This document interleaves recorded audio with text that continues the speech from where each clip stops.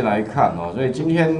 啊，就今天应该是第第十次上课了哦。然后，诶，上一次上课的这个录影啊，一样在公告区里面啊，所以细节部分呢，自己再稍微看一下啊。那我们期中之后哦，大概一直到期末哦，呃，重点慢慢会多一些城市的部分。所以呢，我们期末报告部分的话哦。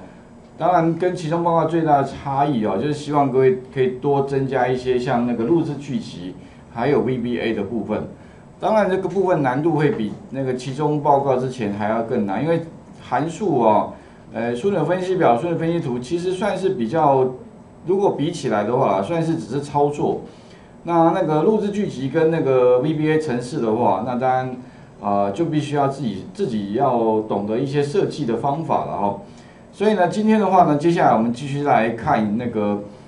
这个外币汇率这个资料下载的这个范例哦。所以这个我有在云端白板上面有一个连接啦，所以你们稍微看一下啊。那最后希望做出来结果就是把那个数据啊，把它图像化了。那当然最好，因为这边总共它提供给我们有十种的那个汇率资料。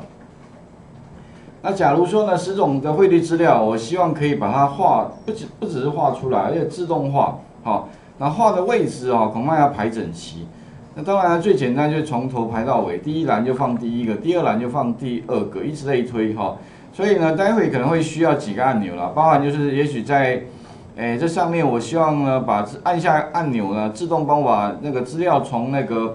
就是这个开放平台上面自帮我直接下载下来哈。啊，另外的话可以绘制一个折线图，也许像美元折线图啦，哈，人民币折线图，以此类推，哈，然后再来的目标是希望把全部的折线图都画出来，哈，那所以呢，首先各位可以看到这边有个网址啦，这个网址你们可以从那个开放平台上面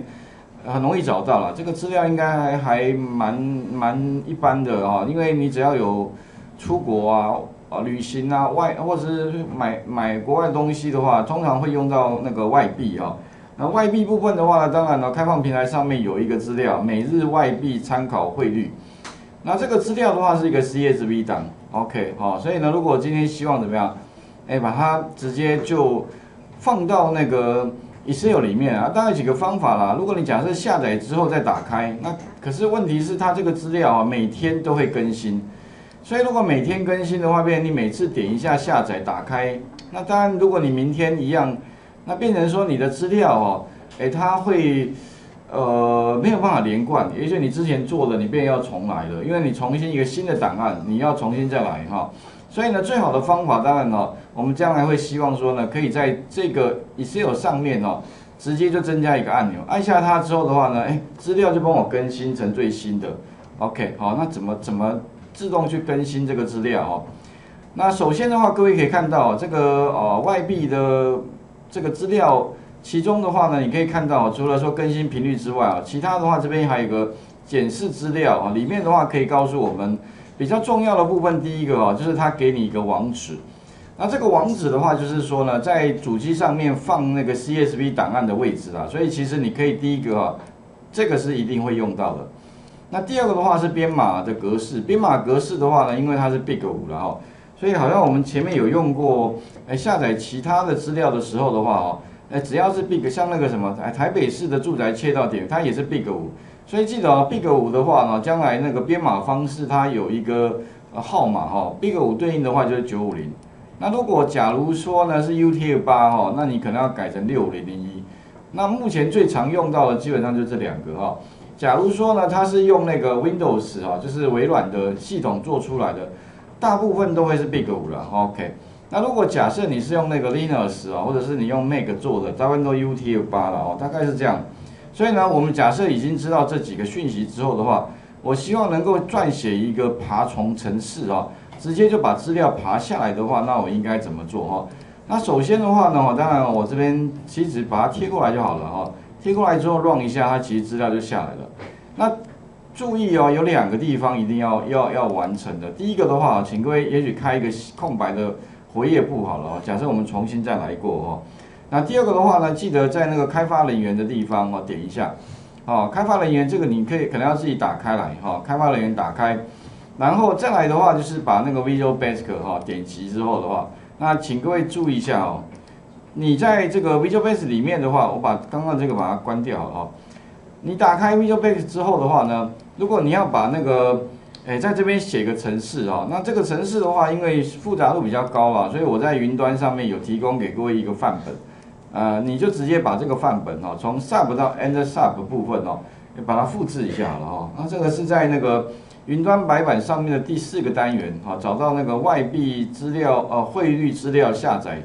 与绘制折线图之一哦，好是之一的部分的第二页的地方，这边有一个范本哦，你就把这个范本直接 Ctrl C 了。不过这个范本其实之前应该也用过了哦，那主要是利用那个 Create Table 物件哦，它可以帮我去把那个云端上面的资料给下载下来，那所以呢，接下来呢，你就是先开一个空白的活页簿哦，然后再来的话就是什么，开发人员里面的 Visual Basic 啊，记得哦，如果以后要写程式的话，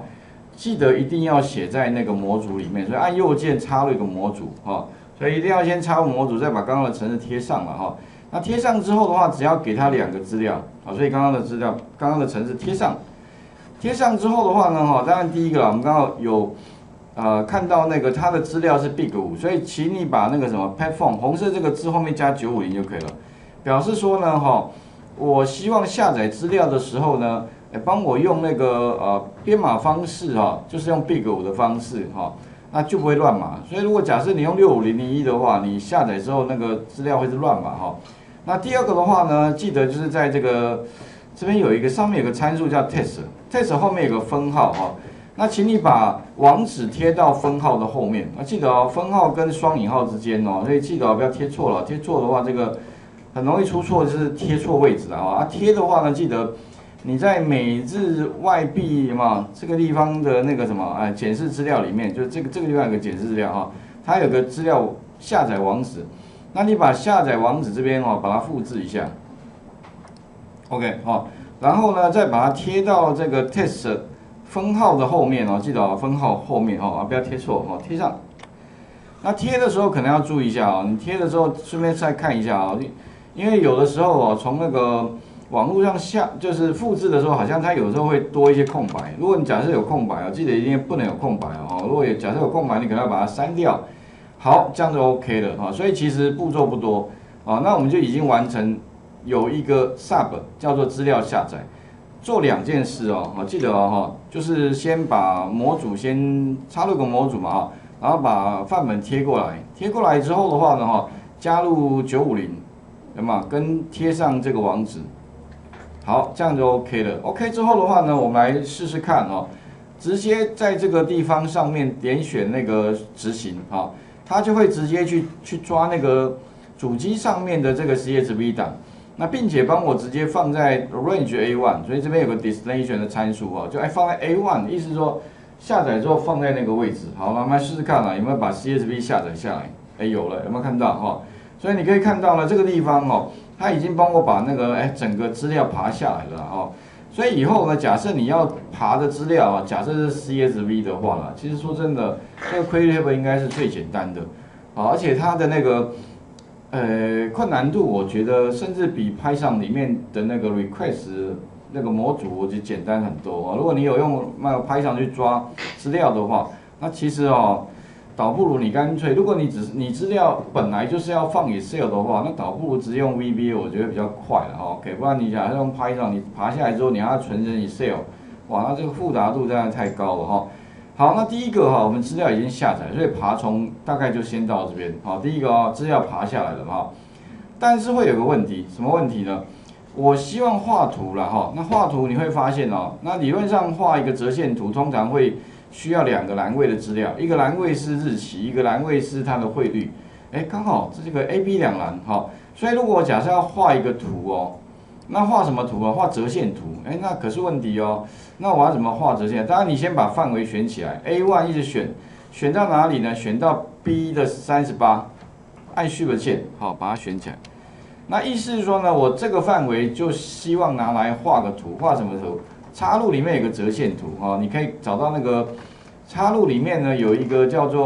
哦，有没有？我们看到一个高高低低的一一条线的高高低的这个就折线图。那我假设希望画一个什么？画一个含有资料标记的折线图的话，哦，那你会发现哦，我直接点那个含有资料标记折线图的话，那当然理论上它应该是画出来结果应该正确的应该是这个我们云端白板上面看到的这个图才对。它的那个 X 轴横轴部分是日期，纵轴部分是汇率，但是你会发现哦，我们现在做出来的结果，哎奇怪，怎么不对哈？日期它变成是数字哎。那纵轴它变成是一堆的，也是一堆数字，哎，那你会想说为什么结果会不不对哈？那跟各位讲哦，其实你可以看一下这个资料，其实如果假设你画出来的图哦，跟你预期的不一样的时候，那你可能就是要看一下你的资料有没有错误了哦。那其实呢，你可以看到啊，这个日期部分哦，哎，明显哦有一点问题啊，在 Excel 里面的日期哦，有没有？不知道各位有没有印象哦？在 Excel 里面的日期的话，理论上会需要年月日中间一定要斜线，但是呢，它给我们的日期格式哦，有一个很大的问题，就是呢，它实际上我们虽然哦，我们看得懂，但是 Excel 看不懂啊。Excel 其实说真的，他看不懂这，他看他看到这些以为是数字，所以你会发现他以为是数字，所以把那个这个这个轴啊当成是数字来呈现。他把它当成什么？当成是哇，个十百千万十万百万千万哎，他把它当成两千多万来看待，所以他画出来的图啊显然不对。所以呢，如果假设哦，你要让它变成正确的横轴日期，那你需要做第一件事就是修正日期。哎，那问题来了，你要怎么修正这个日期啊？有没有？而且很简单啊，两个方法。第一个就是说哈，你在年月日中间插入两个斜线就可以了，有没有？那问题要怎么样插入这个斜线？当然不是你说要自己手动手动做吗？我手动加一下，OK。可问题你手动加的话，这边总共有好像三到三十八了，等于三十七个资料，你变你要自己来吗？那当然你加一下，Enter 一下，你变你要加，哎，有你做一个，他就帮你改一个哈。那你会发现第一个了哈，那可是问题有三十七个，你总不可能一个一个慢慢来嘛哈，所以呢，假设你不要一个一个慢慢来的话，一个慢慢来做这件事，那应该怎么做？我记得好像新版有有一个功能，就是你做了一个功能哈，它会自己记得你做的事情，帮你重复做上面的事情，是不是可以全部填满？如果有这个功能，当然更好了。可是问题目前看起来好像没有的话，那你要想办法。OK，那请各位先试一下啊。第一个先把什么，把那个资料从我们的网络上面把它下载下来啊，从那个啊政府的开放平台下载啊。第二个的话，思考就是绘制一个折线图。那这个折线图哈，因为日期格式不对，所以要把日期里面的资料哈，把它修正一下。OK，来试一下哈。